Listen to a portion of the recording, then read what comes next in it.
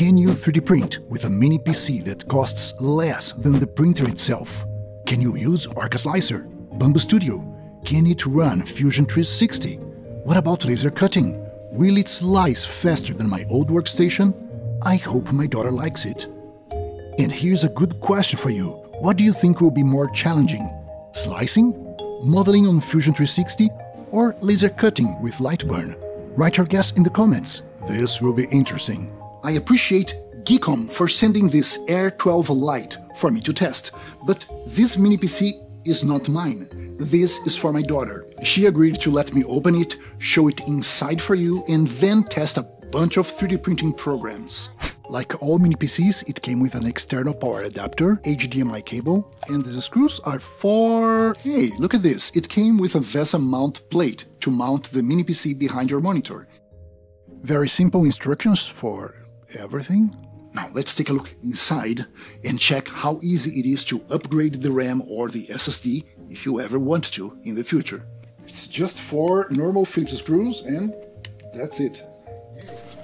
Open. Yeah, it couldn't be simpler. The Air 12 Lite comes with 8 gigabytes of RAM. You can take it out and double it to 16 gigs. The SSD is 256 gigabytes and comes out just as easy as the RAM. Compared to my Mac that has 4 terabytes, 256 gigabytes doesn't seem much, but look at everything we installed here so far. Orca Slicer, Bambu Studio, Creality Print, Affinity Designer, Photo and Affinity Publisher, Fusion 360, Lightburn, Atom Stack Studio, the whole XMaker toolset for kids, OpenOffice, a few retro games, and we still have more than half of the disk free. So 256 gigabytes of SSD is enough for the apps. For videos, photos, or lots of projects, then you need an external disk, and there is a bunch of USB ports here. Setting it up was a very smooth experience, configuring Windows, connecting to Wi-Fi, and there is a surf game that you can play while the system goes into a Windows update. I didn't know much about this new processor, the N100 from Intel. It runs everything a Windows PC should run. When we reviewed the original XMaker, I was running a virtual machine on my Mac, and it was quite tricky. Today it feels so different on a real PC. That's all I wanted, my daughter creating things on a computer. Well, let's just see a little. I designed the doll Yeah. on my own. My daddy is this fair. I can put. Oh. Let's see if she can stand up. Yay! Oh, you're making a desk with feet. It look, it really looks like a lion. Like the head got very big. It's a lion. It's a lion. Okay, it's a lion now. There's a bunch of supports because there's a lot of pieces that are not touching the ground. I mean, there's bad parts on the supports. Oh, let, let me let me see, daddies and mummies, you might need to help your kids with the supports. I'm trying to take them without. Breaking my lion. Of course, she also wanted to play games. And this mini PC is excellent for retro games. I used RetroArch with a gamepad and everything ran beautifully. I, I won't show which ROMs she was playing, but she was having loads of fun. And I made the mistake of introducing her to Angry Birds. Now she's hooked. Now let's see how it runs the grown-ups stuff. First, slicers. I got impressed that 8 gigabytes is pretty much enough for normal slicing. I could slice a whole bed with tiny owls, but it was using virtual memory and it got really heavy. And here's a funny thing I am editing this video on a 27 inch iMac from 11 years ago, a machine that I paid more than $2,000 back then. It's still awesome. No way this mini PC can beat it. I should test. I will do three tests slicing one benchy, slicing 10 benches, and a single big 400% sized benchy in Bambu Studio. First, my old super expensive i7. That's the baseline. Now the Air 12 Lite N100 mini PC. I am surprised. The mini PC was just as fast or faster than my old workstation, but it uses a tenth of the energy. Now I'm curious about my old laptop because I keep it as a backup machine. It's an Intel i5 dual core. Let's slice one benchy.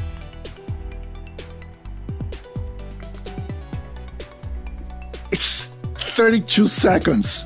Keeping an, an old laptop just in case doesn't make sense at all. I could be using a mini PC that is as fast as my main computer.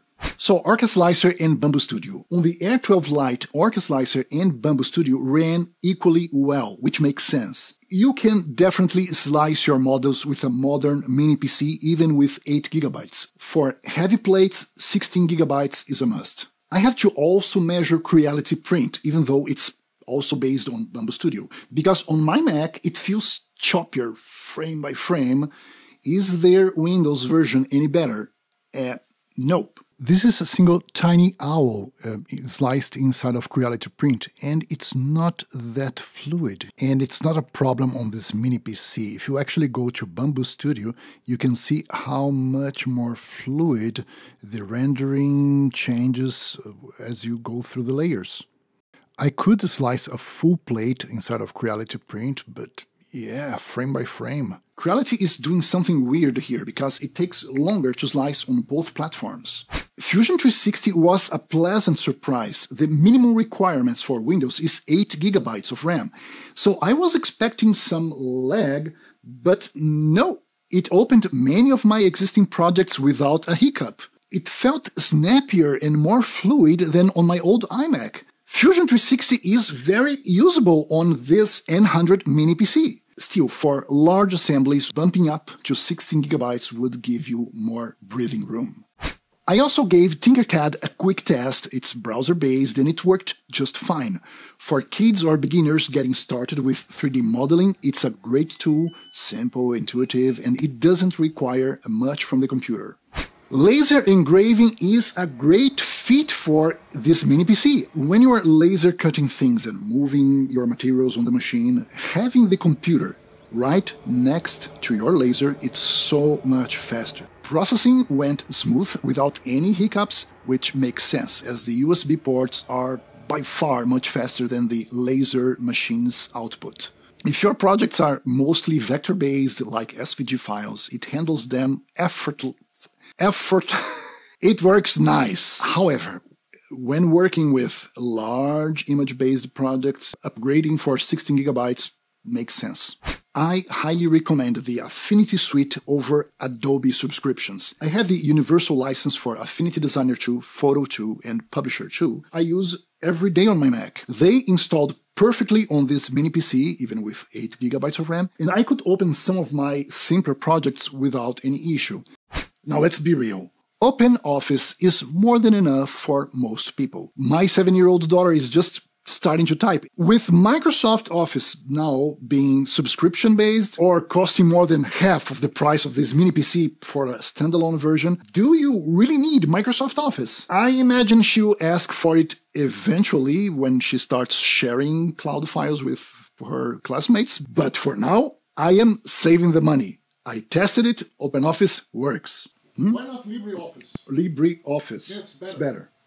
LibreOffice. Yeah. Don't forget you need a monitor, mouse, and a keyboard. I went for a 24 Philips monitor with built-in speakers to save space and the cheapest Bluetooth keyboard and mouse combo that we could find. The whole thing costs less than 350 US dollars and my new CO2 laser needs one. So the Geekom Air 12 Lite, I'm still surprised how fast an entry level computer. It's the entry level, way faster than I thought. I love how simple it is to open and upgrade RAM or the SSD if you need. It comes with Windows 11, it's affordable, well built, extremely compact. It uses almost no energy and it's very quiet. It is perfect for my daughter's bedroom. Now, for makers, 8 gigabytes of RAM is surprisingly enough for a lot of things even Fusion 360. Now, if you can, I recommend upgrading to 16 gigabytes or just consider its bigger brother, the Geekom Air 12. And if you like my work, please use my affiliate links in the description. It's how I bring food to the table. I'm Everson, and I will see you on the next Geek Detour. Now, let's see how it runs adult stuff. Not adults, grown ups stuff.